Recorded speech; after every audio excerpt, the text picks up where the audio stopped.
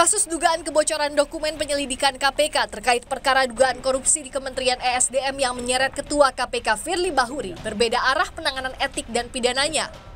Hari Senin, Dewan Pengawas KPK mengumumkan Ketua KPK Firly Bahuri tidak cukup bukti membocorkan dokumen penyelidikan KPK di Kementerian ESDM, seperti yang dilaporkan mantan Direktur Penyelidikan KPK, Endar Priantoro dan 16 pelapor lainnya. Untuk itu, Dewas tidak melanjutkan kasusnya ke sidang etik. Dalam pemeriksaan Dewas KPK, ex Biro Hukum Kementerian ESDM Idris Sihite mengubah pernyataan bahwa dokumen yang bocor bukan berasal dari Ketua KPK kepada Menteri ESDM, melainkan dari seorang pengusaha. Menurut Dewas pula, tidak ditemukan komunikasi baik kepada Menteri ESDM maupun Ketua KPK Firly Bahuri di ponsel Idris Sihite.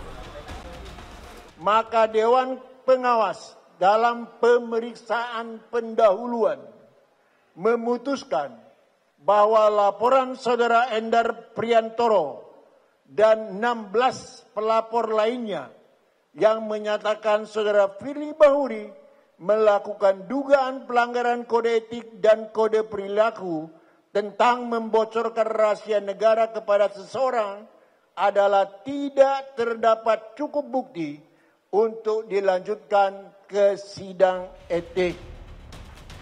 Berlawanan dengan hasil pemeriksaan Dewas KPK yang menyebut tak ada cukup bukti Firly Bahuri membocorkan dokumen penyelidikan, Kapolda Metro Jaya Irjen Karyoto justru menyatakan ada dugaan pidana. Menurut mantan Deputi Penindakan KPK ini, buktinya dokumen yang bocor ada di tangan orang-orang yang tengah diselidiki KPK. Kami memang sudah menemukan adanya peristiwa pidana. Buktinya apa? Bahwa ada informasi yang kita dapatkan yang ternyata informasi itu masih dalam proses penyelidikan di KPK ada di pihak-pihak yang sedang uh, menjadi target-target daripada penyidikan itu, uh, penyelidikan itu ya artinya barang yang tadinya rahasia menjadi tidak rahasia ketika sudah dipegang oleh pihak-pihak yang menjadi apa objek penyelidikan. Kasus dugaan pembocoran dokumen penyelidikan KPK mencuat setelah beredar video viral rekaman percakapan antara petugas KPK dan pejabat Kementerian ESDM. Dalam percakapan itu disebut soal dugaan adanya pimpinan KPK yang membocorkan dokumen hasil penyelidikan KPK ke Menteri ESDM. Tim Liputan Kompas TV. Bagaimana kelanjutan penyidikan kasus kebocoran dokumen penyidikan KPK yang ditangani Polda Metro Jaya? Kita bergabung dengan jurnalis Kompas TV ada Jonah Hamonangan di Polda Metro Jaya. Jonah, kemarin Dewan Pengawas KPK justru mementahkan dugaan Ketua KPK Firly Bahuri ini bocorkan dokumen di KPK. Sementara Polda Metro Jaya justru menaikkan penyidikan karena ada dugaan pidana. Bagaimana Jonah progres penyidikan dan apa dampaknya keputusan Dewas KPK kemarin? Jonah.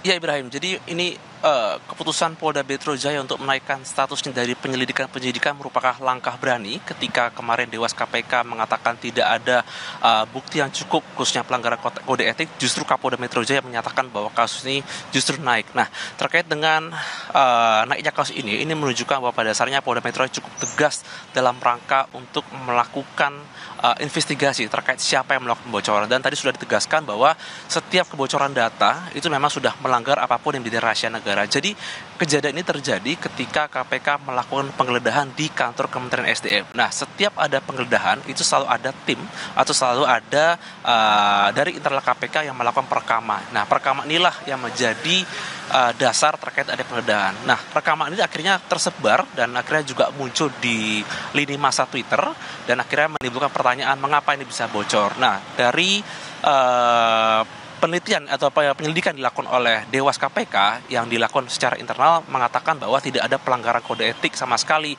ataupun tidak ada uh, pertemuan dilakukan baik mungkin dari Ketua KPK dengan Kementerian SDM di mana tidak ditemukan percakapan. Sebaliknya dari pihak Polda Metro Jaya mengatakan bahwa uh, akan ada uh, investigasi lebih mendalam di mana saat itu sudah dilakukan uh, peningkatan status dari penyidikan-penyidikan dan dari Polda Metro Jaya pun sudah melakukan pemeriksaan kepada sejumlah pihak khususnya ke internal KPK baik kepada penyelidik dan penyidik dan juga sejumlah saksi lain.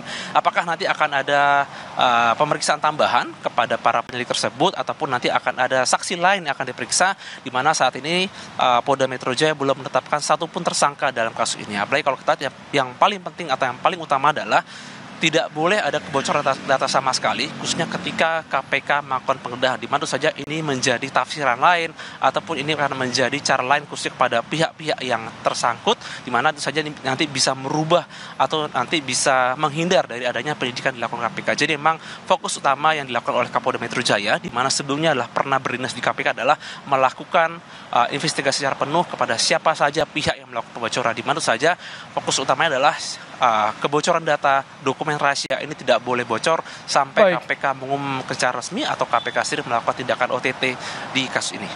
Ibrahim. Terima kasih Jona Hamonangan untuk laporan Anda langsung dari Polda Metro Jaya.